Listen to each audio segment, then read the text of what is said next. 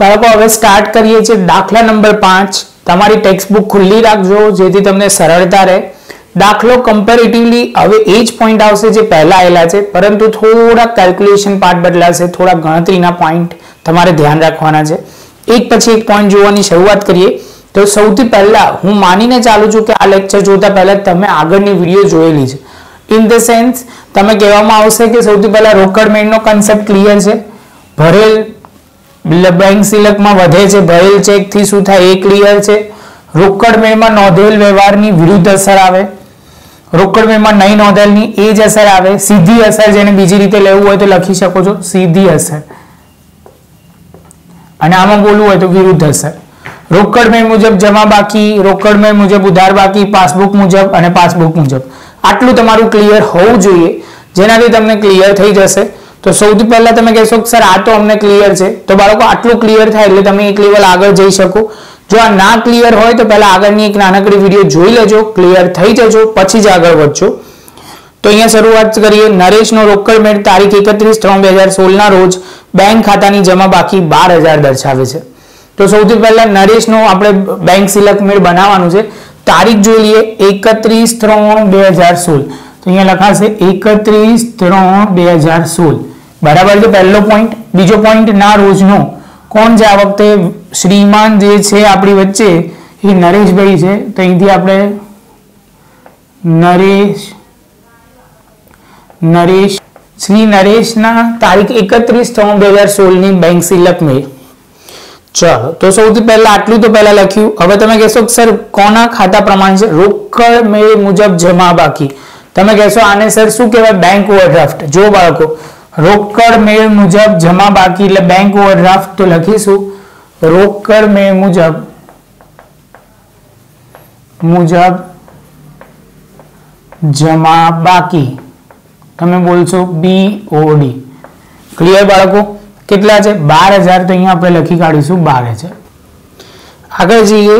જે પાસબુક સાથે મળતી નથી, એ તો નથી જ મળતી એટલે તો બેંક સિલક બનાવીએ છીએ ખાસ.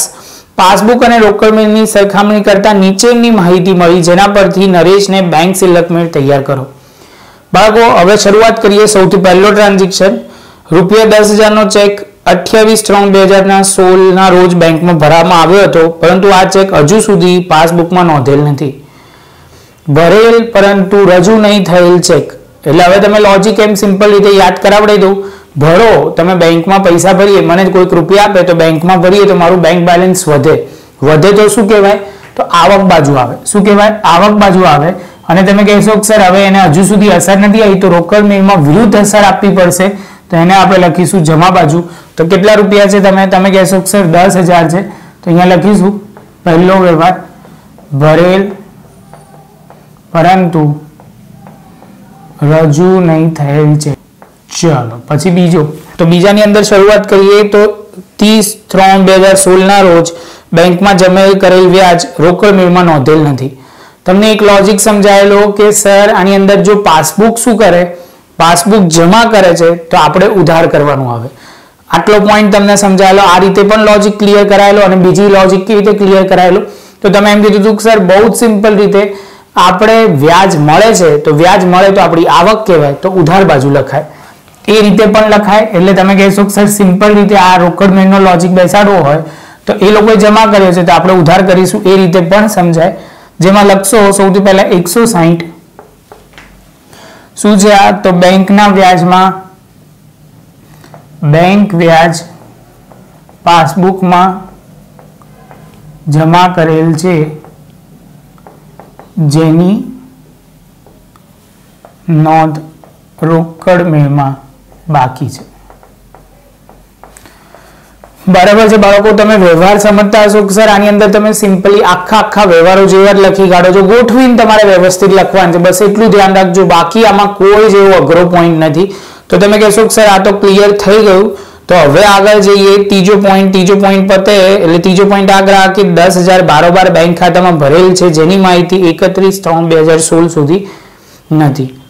પહેલી વસ્તુ બારોબાર ભરેલ એટલે શું? તો તમે કહેશો સર, બારોબાર ભરેલ એટલે એવું કહેવાય કે તમને ખબર નથી, તમારા ખાતામાં કોઈકે પૈસા ભર્યા છે. એટલે તમારું બેંક બેલેન્સ વધ્યું હશે, પરંતુ તમને ના ખબર હોય એટલે રોકડ મેળમાં ક્યારે પણ નોંધ ના થાય. આપણે કોણ છે? રોકડ મેળ તો આપણે તો હજુ સુધી નોંધ્યું જ નથી. તો નોંધીશું તો રોકડ મેળમાં શું થાય? કોઈ પણ રૂપિયા વધે તો તમે કહેશો કે સર આવક બાજુ લખાય. કઈ બાજુ લખાય? આવક બાજુ. તો શું લખીશું? બારોબાર ગ્રાહકે જમા કરાવેલ, પરંતુ રોકડ મેમાં નહીં નોંધેલ. બરાબર ને બાળકો? તો ધ્યાન રાખજો આની અંદર કેટલા રૂપિયા લખશો, એ પણ ખાસ ધ્યાન રાખજો. તો તમે કહેશો કે સર, અત્યાર સુધી બારોબાર ગ્રાહકે ભરાયેલા દસ હજાર રૂપિયા હતા, જેની નોંધ આપણે કરવી પડશે. બાળકો લોજિક સાથે જઈએ છે સમજીને કરજો.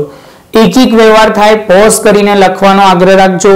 આખું કોપી પેસ્ટ ના કરતા જ્યાં સુધી સાહેબ છેલ્લી એન્ટ્રી નહીં કરે, ત્યાં સુધી આપણે વીડિયો જોયા જ કરીશું. અહીંયા સુધી એક વ્યવહાર પત્યો, એક વ્યવહાર નોટમાં લખજો. ચલો, આગળ જઈએ. બેંકમાં ભરેલ, પરંતુ રોકડ મેમાં નહીં નોંધેલ ચેક બેંકમાં ભરેલ. બેંકમાં ભર્યા છે, એટલે રોકડ મેમાં નહીં નોંધેલ ચેક તો તમે કહેશો કે, સર સિમ્પલ વસ્તુ, રોકડ મેમાં નોંધવાનો બાકી છે. ભરીએ તો બેંક બેલેન્સ વધે. વધે તો કઈ બાજુ આવે? ઉધાર બાજુ. ફરી એકવાર બોલું છું બેંકમાં ભરી દીધો છે, રોકડ મેમાં નોંધવાનો બાકી છે, તો કોઈ પણ વસ્તુ ભરો. એટલે ભરેલ ચેક એટલે રોકડ સિલક વધે. એટલે એની ઓલવેઝ શું હોય? ઉધાર બાકી. શું કહેવાય? ઉધાર બાકી. તો તમે કહેશો કેમ કે રોકડ આવે છે બેંક સિલક વધે છે, વધે તો ઉધાર કહેવાય, એ ખાસ ધ્યાન રાખજો. તો તમે કહેશો કે સર, આની અંદર જે એન્ટ્રી કરવાનું આવે છે, જેની અંદર આપણે લખીશું સીધે સીધું, જેના આઠ રૂપિયા છે, શું લખીશું? ભરેલ, પરંતુ રોકડ મેમાં નહીં નોંધેલ. સેમ વે આગળ જઈએ પાંચમું, તો પાંચમામાં લખેલ અને ચૂકવેલ, પરંતુ રોકડ મેમાં નહીં નોંધેલ ચેક હવે સમજો, રોકડ મેમાં નોંધવાની જ બાકી છે, તો એક જ અસર આવશે. એ આના જેવું જ થશે કે આ ઉપરવાળાની વાત છે, એના જેવું. જે હમણાં કરીએ લખેલ લખેલ અને બેંક સિલક ઘટે. બેંક સિલક ઘટે તો કઈ બાજુ આવે? તો તમે કહેશો કે સર, સિમ્પલ જમા બાજુ આવે. કઈ બાજુ આવે? જમા બાજુ આવશે. તો જમા બાજુ આવશે તમારે શું ધ્યાન રાખવાનું છે? તો લખીશું આપણે, લખેલ. પરંતુ નહીં નોંધેલ. રોકડ મેમાં નહીં નોંધે. કેટલા રૂપિયા છે? તો તમે કહેશો પાંચમામાં સર જે છે છ હજાર છે. કેટલા છે? છ હજાર. એની સાથે આ પાંચમો વ્યવહાર પણ પૂરો. છઠ્ઠાની વાત કરીએ. આ બહુ સરસ છે. મોસ્ટ એમપી ટીક કરજો. લોજિક સાથે સમજાવીશ અને પછી અમુક વસ્તુ એ પણ કહીશ કે આવું આવે ત્યારે કરવાનું શું. તો સૌથી પહેલા તમને કહેવામાં એવું આવ્યું છે કે બેંકમાં વટાવેલ. ત્રણ હજારની લેણી ઊંડી નકરાઈ. બેંકમાં વટાવેલી હોય એટલે સૌથી પહેલા લોજિક એ ક્લિયર કરવાનો. એટલે તમે કહેશો કે સર, બેંકમાં વટાવેલી હોય. જે રીતે સમજો, આનો લોજિક બહુ જ ડિટેલમાં જઉં છું. આટલું બધું નહીં ખબર પડે તો ચાલશે. કેમ કે આ વધારે પડતું ડિટેલ છે. હુંડીનું એક પોઈન્ટ આખું એક ચેપ્ટર છે જે આપણે ડિસ્કસ કરીશું. તમે કહેશો સર, એક સિમ્પલ રીતે સમજો કે તમે બેંકમાં પૈસા, એટલે કે બેંકમાં હુંડી વટાવો ને, એટલે તમારે જોઈએ ધારો કે સમજો કે રૂપિયા જોઈએ છે અત્યારના. તમારે કોઈકની જોડેથી લેવાના છે. કોની જોડેથી? મિસ્ટર એક્સ જોડેથી લેવાના છે. પણ મિસ્ટર એક્સે એમ કીધું છે કે, સર, તમને હું મહિનાના અંતે આપીશ. હજુ તો તમે મહિનાના સ્ટાર્ટિંગમાં છો. તમે કહેશો સર, મારે રૂપિયા જોઈએ છે, ધંધામાં જરૂર છે. તો તમે શું કરશો? બેંકમાં જશો અને બેંકને કહેશો કે, આ હુંડી જે છે, એ મિસ્ટર એક્સ જોડેથી મારે લેવાના છે. તમે મને અત્યારના રૂપિયા આપો અને પાક્યા તારીખે તમે હુંડી કોની જોડેથી લઈ આવજો? મિસ્ટર એક્સ જોડેથી રૂપિયા લઈ લેજો. બેંક આ સેવાના થોડા કે સર્વિસ ચાર્જીસ લે ધારો કે આપણે સો રૂપિયા એની જોડેથી લેવાના હશે, તો બેંક આપણને અત્યારના અઠ્ઠાણું રૂપિયા જ આપશે. બેંકે અત્યારના તો રૂપિયા આપણને આપી દીધા. મહિના પછી બેંક જાય છે લેવા માટે મિસ્ટર એક્સ જોડેથી. મિસ્ટર એક્સ કહી દે છે કે, હું રૂપિયા નહીં આપું, મારી જોડે અત્યારના સગવડ નથી. તો બેંક રૂપિયા શું કરશે? તો બેંક કહેશે કે સર તમારી પાર્ટીએ અમને રૂપિયા નથી આપ્યા, તો હવે તમારે અમને આપવા પડશે. સમજ પડી? તો તમે કહેશો સર, તો બાળકો, હવે આપણે શું એની અસર આપીશું? તો તમે કહેશો સર, એની સિમ્પલ રીતે તમારે એ ધ્યાન રાખવાનું છે. કે જે બેંકમાં હવે રૂપિયા તમારા ઘટી જશે ઘટી જશે તો શું થશે? જમા કરીશું. કેટલા રૂપિયા જમા કરીશું? ત્રણ હજાર હુંડીના તો ખરા જ. સાથે નકરામની ખર્ચના ચાલીસ સહિત. પાસબુકમાં નોંધેલ છે. જે નરેશને જાણ નથી. નરેશને જાણ નથી એટલે બ્રેકેટમાં લખો જ લખી કરો રોકડ મેળમાં રોકડ મેળમાં નોંધાયેલ નથી. તો સૌથી પહેલા તમે કહેશો કે સર, આની અંદર રૂપિયા જાય તો જમા બાજુ આપણે લખીશું. કેટલા લખીશું? તો લખીશું નકરામણી હુંડી રોકડ મેળમાં નહીં નોંધેલ. કેટલા છે? તો તમે કહેશો કે સર જે છે આની અંદર પહેલા ત્રણ હજાર ચાલીસ. ત્રણ હજાર ચાલીસ તમે કહેશો કે સર જમા બાજુની વાત થયેલી. તો જમા બાજુ લખીએ ત્રણ હજાર ચાલીસ તો અહીંયા લખીશું. જેમાં લખીશું નકરામની ખર્ચ સહિત. બાળકો, થોડાક શબ્દો હું આગળ પાછળ લખું, તમારે પૂરું લખવું પડશે, તમારે આખું જ લખવું પડે. લોજિક ક્લિયર થયો? હવે તમે કહેશો કે સર તમે એક શોર્ટકટ કહેવાના હતા, તો ઓલવેઝ યાદ રાખજો, જ્યારે હુંડી નકરાય ને હુંડી નકરાય વર્ડ ધ્યાન રાખજો, હું વર્ડ એમ બોલું છું. હુંડી નકરાય તો ઓલવેઝ જમા બાજુ આવે, કેમ કે રૂપિયા તમારાથી જતા જ હોય. આવું યાદ રાખજો, તોય વાંધો નહીં. ઘણા લોકો તો જ્યારે વખતે યાદ રાખે છે. પણ વર્ડ જે ધ્યાન રાખજો, નકરામણી હુંડી હોય ત્યારે જ. કેમ કે ઘણી વખત શબ્દો બદલાઈ જશે તો આખું બદલાઈ જાય, એટલે ખાસ કહું છું. તો આગળ જઈએ તો એના પછી જે આવે છે, સાતમો પોઈન્ટ રોકડ મેળમાં આય બાજુનો સરવાળો ભૂલથી ઓછો ગણવામાં આવ્યો છે. આ એટલે શું? તો ઉધાર. તો તમે કહેશો કે સર, આવક બાજુનો સરવાળો ઓછો ગણ્યો છે. જે રીતે અહીંયા લખવાનો હતો બસો, પણ મેં લખ્યો છે ખાલી સો. તો તમે કહેશો કે સર સો ના લખો, દોઢસો લખીએ. સારું, ચલો, દોઢસો. તમે કહેશો કે સર, પચાસ ઓછો લખ્યો છે. લખવાનો હતો બસો. લખવાનો હતો બસો, પણ લખ્યો દોઢસો જ છે. તો કેટલો ઓછો લખ્યો છે? તો તમે કહેશો પચાસ. સર, તો ઓછો લખ્યો હોય તો એક બાજુ. આ એક લખી કાઢજો. ઓછો લખ્યો હોય એ જ બાજુ. એ જ બાજુ. આ ઘણાને આવું યાદ જ રાખવું હોય છે, એટલે ખાસ સર લખાવે છે કે પ્રેક્ટિકલી લોજિક સાથે સમજો તો વધારે ઈઝી પડે. ઓછું લખ્યો અને વધુ લખ્યો હોય તો વિરુદ્ધ બાજુ. તો સૌથી પહેલા તમે કહેશો સર આની અંદર પોઈન્ટ બહુ જ સિમ્પલ છે. જે બાજુ લખવાનું એનાથી વિરુદ્ધ બાજુ લખવાનું છે, તો વિરુદ્ધ બાજુ લખો એટલે સિમ્પલ રીતે ધ્યાન રાખો. આની અંદર જે પોઈન્ટ છે, આની અંદર ખાસ ધ્યાન રાખવાનું છે. વિરુદ્ધ બાજુ એટલે તમારે, આ તો આપણે ઓછો લખ્યો હોય તો એની એ જ બાજુ.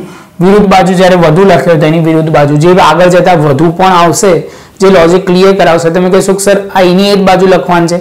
કેટલા રૂપિયા નોંધવાના બાકી છે? તો તમે કહેશો સર, ઓછો જે ગણ્યો છે એ કેટલો છે? તો સાતમા વ્યવહારમાં તમે કહેશો સર, બે ઓછો ગણ્યો છે. આવક બાજુનો એટલે ઉધાર બાજુનો ઓછો ગણ્યો છે. એટલે બે અહીંયા લખીશું તો અહીંયા લખીશું, રોકડ મેનો, આ બાજુનો સરવાળો ઓછા ગણ્યા તેના. ચલો, આઠમો પોઈન્ટ બાળકો, લખેલ પરંતુ ચૂકવણી માટે નહીં રજૂ થયેલ ચેક હવે તો તમને યાદ રહી ગયો છે કે બાળકો, લખેલો ચેક કોઈ રજૂ નથી થયો, તો પહેલા આપણે લખ્યો હશે, લખેલ ચેક જમા બાજુ લખ્યો હશે, તો એની વિરુદ્ધ હશે ઉધાર બાજુ.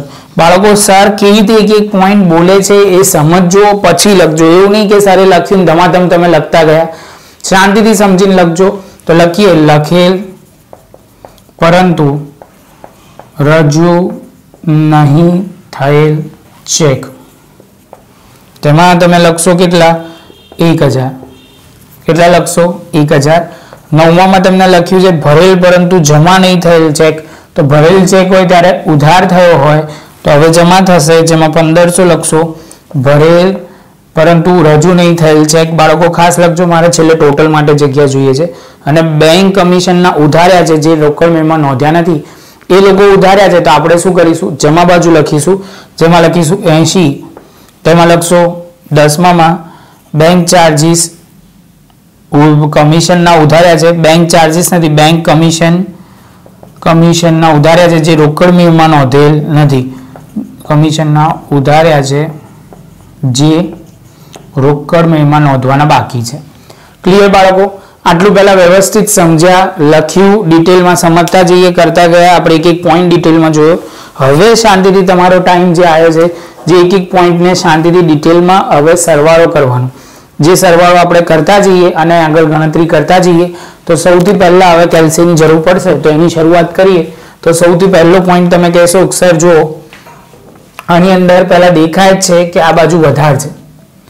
અહીંયા બાવીસ છે, અહીંયા અઢાર છે, એટલે હવે અહીંયા જ વધારે છે કેમ કે છ છે. ચલો, તો જમા બાજુનું વધારે છે તો બાર હજાર, પ્લસ દસ હજાર, પ્લસ છ હજાર, પ્લસ ત્રીસ ચાલીસ, પ્લસ પંદરસો, પ્લસ એંશી. એટલે તમે કહેશો કે સર જમા બાજુનું ટોટલ બત્રીસ હજાર છસો વીસ. અહીંયા પણ લખી કાઢીશું બત્રીસ હજાર છસો વીસ. એમાંથી આ બધું માઇનસ કરું છું. તમે કહેશો કે સર માઇનસ એકસો સાહીઠ માઇનસ દસ હજાર માઇનસ આઠ હજાર, માઇનસ બે હજાર, માઇનસ એક હજાર. અગિયાર હજાર ચારસો સાહીઠ. તો લખીશું આ રોકડ મેં મુજબ હતું, તો પાસબુક મુજબ કઈ બાકી છે? ઉધાર બાકી. અને કઈ બાજુ લખાશે? તો તમે કહેશો સર, આ ઉધાર બાકી છે. તો તમે કહેશો સર, ઉધાર બાજુ લખાય તો ક્લિયર. તો આને શું બોલાશે? તો બેંક ઓવરડ્રાફ્ટ જ છે. ખાલી સમજવા માટે આ બીઓડી લખવું જેથી તમારો સમ ખોટો ના પડે. બાળકો પ્રેઝન્ટેશનમાં ખાસ ધ્યાન રાખજો. આ ટોટલની ઉપર લખું છું. તમે બધું સાથે ના લખતા. કેમ કે તમારી જોડે મને એક આશા છે કે આ ગણતરી ખોટી ના થવી જોઈએ. બરાબર છે બાળકો? સરસ રીતે આ લખી કાઢો. તમે કહેશો કે, સર હોમવર્ક માટેનો ખાસ સમ તમે કહેશો? તો બાળકો, એ પણ કહી દઈએ. હોમવર્ક માટેનો જે સમ છે ઉદાહરણ નંબર પાંચ છે. જે ઉદાહરણ અમુક બે કે ત્રણ પરથી તમારે કરવાનો છે. ત્રણ પરથી છે કદાચ. તો ઉદાહરણ નંબર પાંચ ગણવાનું ભૂલવાનું નથી. પ્રેક્ટિસ જેટલી થશે, એટલું વધારે ક્લિયર થશે.